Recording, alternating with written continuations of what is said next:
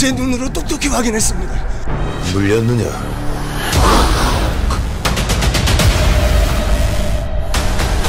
강림대군이 금일 제물포에 도착한다 합니다.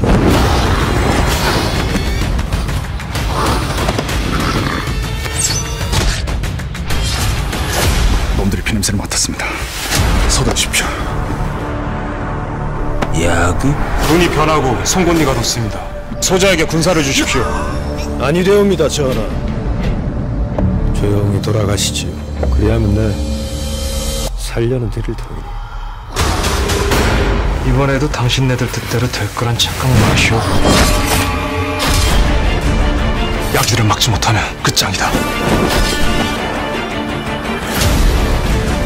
나를 따를 것인가?